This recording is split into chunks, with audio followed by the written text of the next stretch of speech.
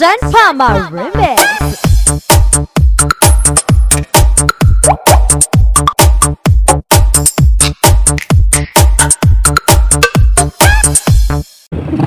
So watch out mga boss. So for today's vlog, andito po tayo sa barangay uh, Biwang. Um, Isulan, Sultan, Gudarat. So na kung saan meron silang disco sa kalye dito mga boss. So ayan, dito po tayo. Abangan niyo po yung ating uh, video mga boss. So huwag lang po natin kalimutan subscribe yung ating uh, YouTube channel. So dito na po tayo mga boss.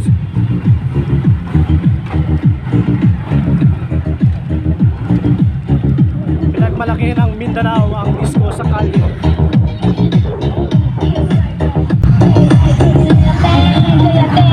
Yeah.